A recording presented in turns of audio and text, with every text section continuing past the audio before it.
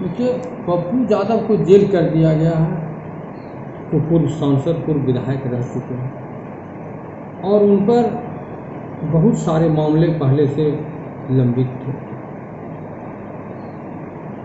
उनको इस विकट परिस्थिति में,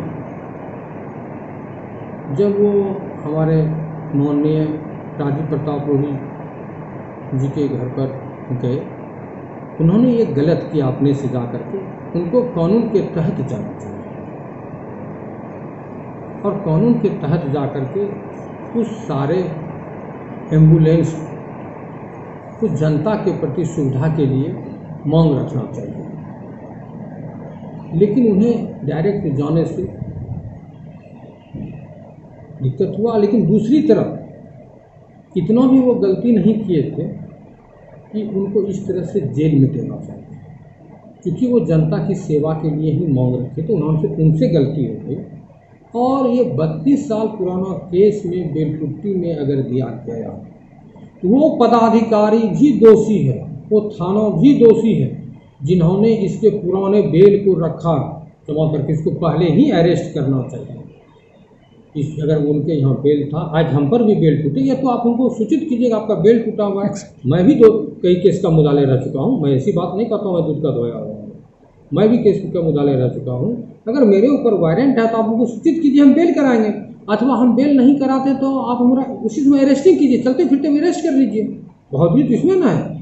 कानून की भी यहाँ मैं दोष देता हूँ कि बत्तीस साल पुराना आप इस समय में आप अरेस्ट करने का कोशिश किया या इस समय केस निकालने के वो वो थाना भी दोषी है जिस थाने में ये केस करा हुआ वो लगातार कोरोना पीड़ितों को सेवा कर रहे थे पिछले बाढ़ से लेकर कोरोना बोल रहे हैं हम बोल रहे हैं ऐसी बात नहीं कर रहे हैं।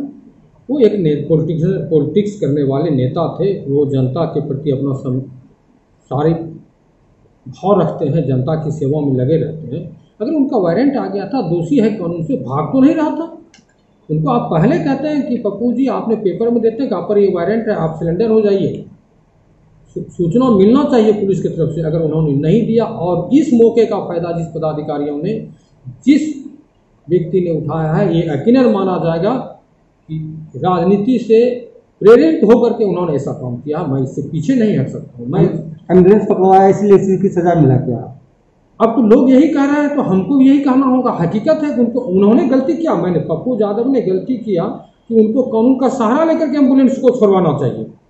एंबुलेंस उतनी एंबुलेंस कैद में थी एक सोच ये सप्ताह की घड़ी में एक सोचने की विषय था। हम माननीय जो राजीव प्रताप मोदी जी का भी सम्मान करता हूँ लेकिन एंबुलेंस को पप्पू जी को भी चाहिए।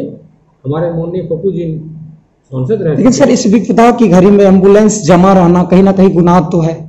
मैं इस बात से इनकार नहीं कर रहा हूँ तो वो विपदा की मैं तो बोल ही रहा हूँ कि विपदा की घड़ी में कहीं एंबुलेंस जमा लोगों ने यहाँ अपनी जान निछावर करके प्राइवेट गाड़ी से पेशेंट को पहुँचाना शुरू किया। उनके यहाँ सरकार का एंबुलेंस रखा हुआ था। ये तो बहुत निंदनीय विषय है जिसको मैं कभी नहीं कहूँगा कि अच्छा हुआ। जो अच्छा है मैं अच्छा कहूँगा जो गलत है मैं गलत कहूँगा। मैं इससे पीछे नहीं हूँ इस विपदा की घड़ी में पप्पू यादव ने गलती किया ये। लेकिन उन्होंने एंबुलेंस के विषय में आवाज़ उठाया।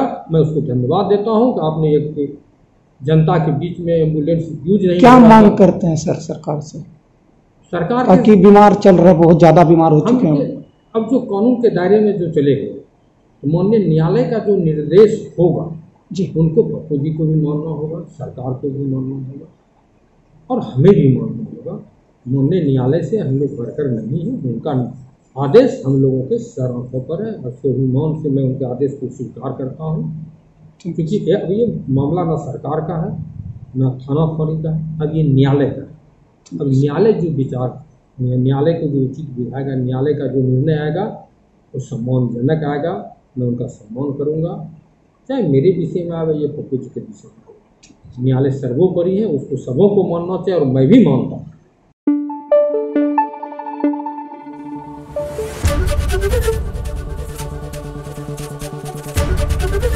ABP news. आपको रखे आगे।